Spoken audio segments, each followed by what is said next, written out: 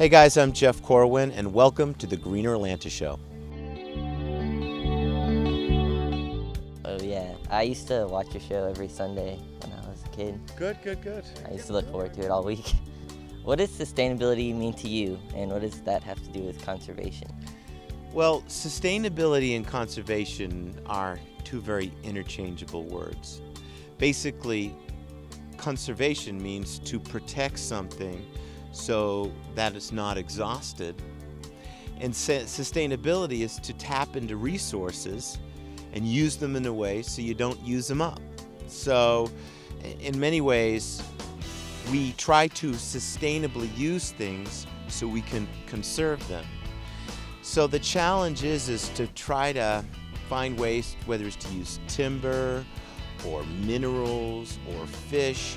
It's it's to try to find a way to use these resources so we get what we need to sustain ourselves, while at the same time to ensure that every generation after us has access to that resource. Do you know what I mean? Yeah. So basically, the stuff that my generation is using today will eventually, if we're not sustainable, if we don't conserve it correctly, and we lose it, the next generation, my daughter's generation, and your generation, does not have access to that resource. So that's what sustainability is.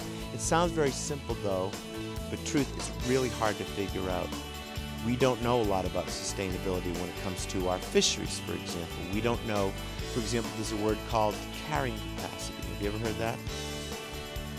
You don't have to hear it. I, I think you I, might have heard about sounds it. Familiar, Well, sounds I'm going to tell you all about it. So, carrying capacity basically tells us how much is needed to sustain a species of life to keep it healthy.